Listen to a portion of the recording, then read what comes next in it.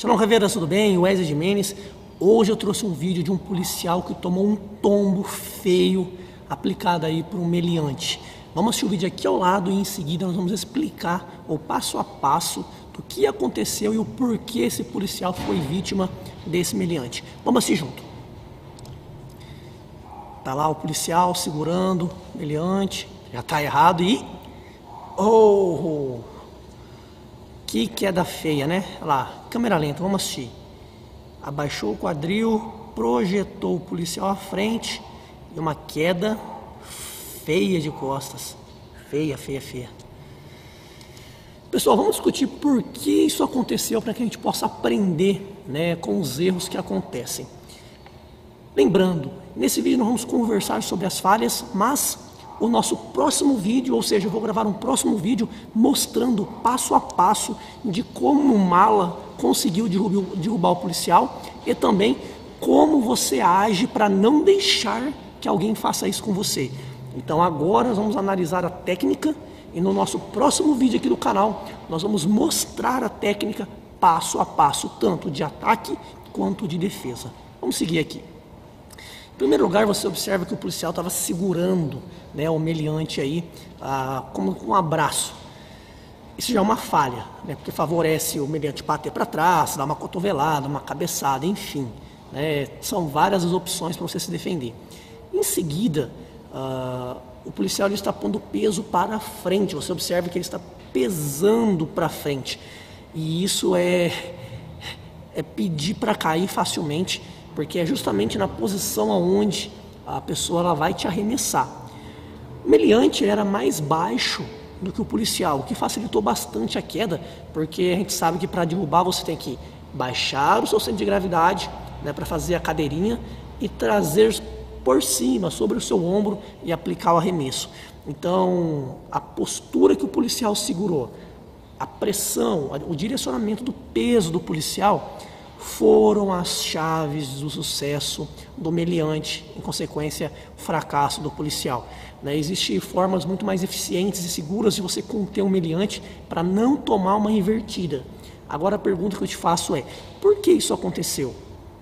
A minha opinião, né, que trabalhei 10 anos na área, é que ah, faz tantas vezes e nunca acontece nada, faz, faz, faz, que nós acabamos ah, ficando desatento com os perigos durante a operação.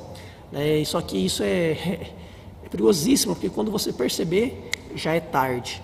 Então, essas foram as falhas técnicas do policial.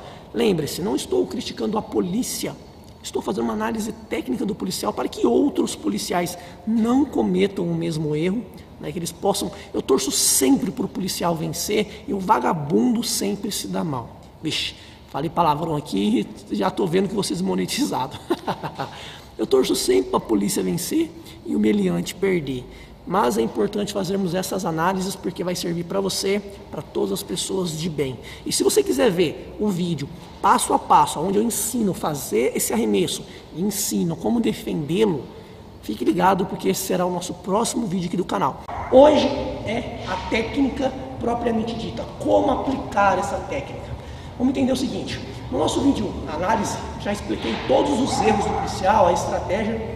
Então eu vou passar por essa parte e vou direto ao ponto, direto ao conteúdo técnico. Então depois, acessa lá na descrição e acessa o vídeo completo. Então tá.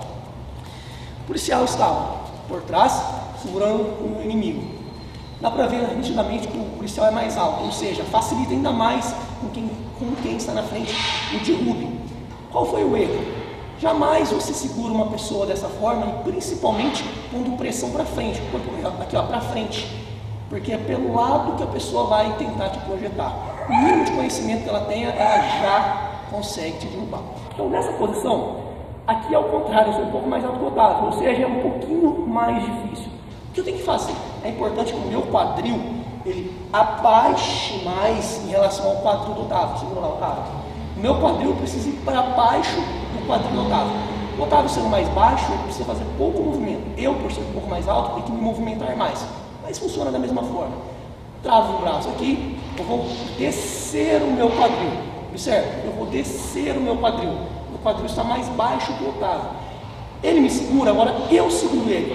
Para quê?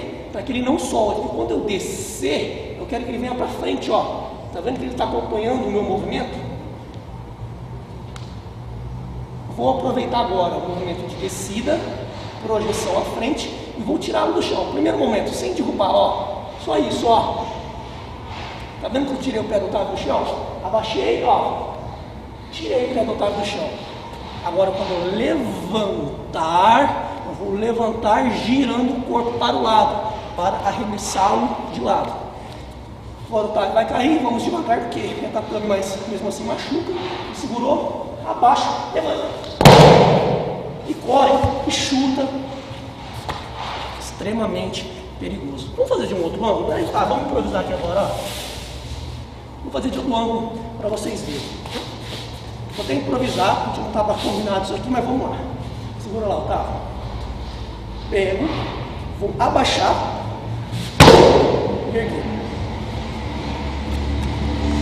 Não vou ficar fazendo porque é ruim.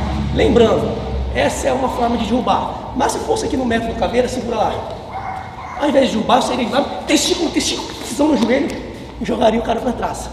Mas o intuito desse vídeo foi mostrar como o policial tomou esse golpe para que você não tome esse golpe. Como você pode evitar esse golpe? Tá? Não segure ninguém assim.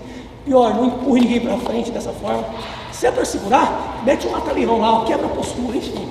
Tem muitas opções que você aprende aqui no canal. Gostou desse formato de vídeo de análise de situações reais? Deixe seu comentário, quero saber se você gostou. E se você gostou, de deixar o seu comentário, vou gravar mais vídeos assim. Curte esse vídeo, compartilhe com seus amigos e vencer caveira!